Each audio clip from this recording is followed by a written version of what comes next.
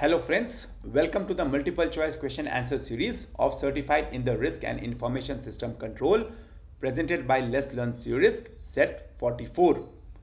Let's start with the today's first question. The first question states, when developing risk scenario for an enterprise, which of the following is the best approach?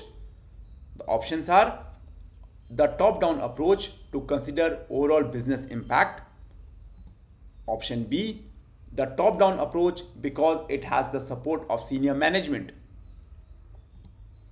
Option C, the bottom-up approach to understand the impact of system outages more accurately. And option D, the top-down and the bottom-up approach because they have different perspective. Friends, the correct answer is option D, the top-down approach and the bottom-up approach because they have different perspective. Friends, because the top-down and bottom-up risk scenario development integrates both perspective. Right? In a top-down approach, one start from the overall business objectives and perform an analysis of the most relevant and probable risk scenario affecting the business objectives.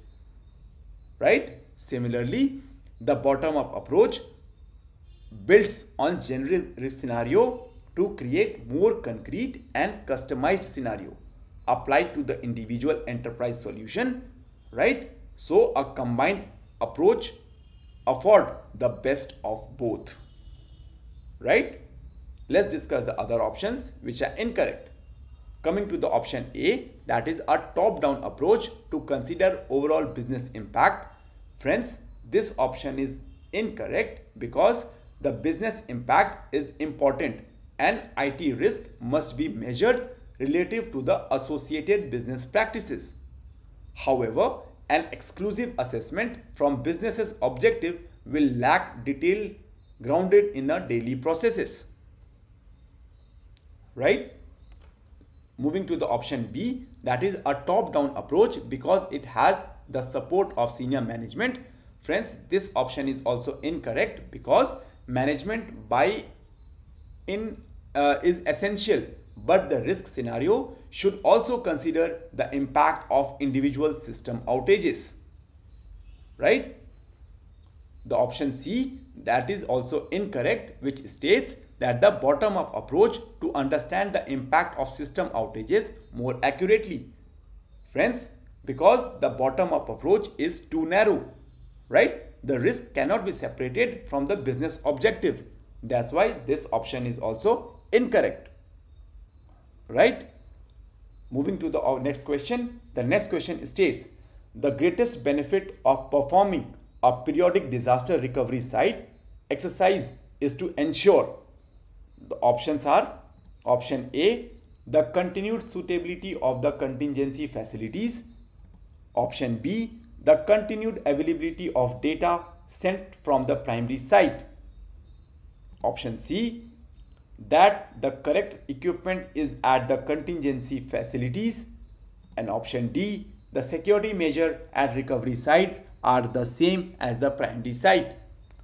Friends, the correct answer is option A that is the continued suitability of the contingency facility. This option is correct because the greatest benefit is continued suitability of the contingency facility because if the facility itself is not suitable then even with data and the personal resources the disaster recovery plan will not work. Right? Next let's discuss the other options which are incorrect. Option b which states the continued uh, availability of data sent from the primary site. This option is incorrect because simply having data available at an alternate site is not the reason for periodic testing because data alone will not help in disaster recovery. Right? Moving to the option C that the correct equipment is at the contingency facilities. This option is also incorrect because ensuring that the correct equipment is at the recovery site is a subset of site suitability requirement.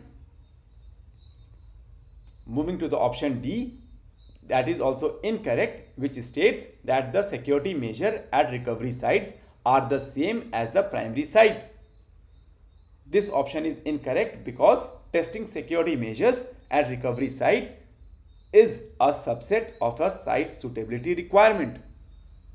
Right? That's why the option A is correct. Friends, here we come to the end of set 44 of multiple choice question and answer series of CRISC. Thank you for watching and please do subscribe to our channel and stay tuned for more updates. Thank you.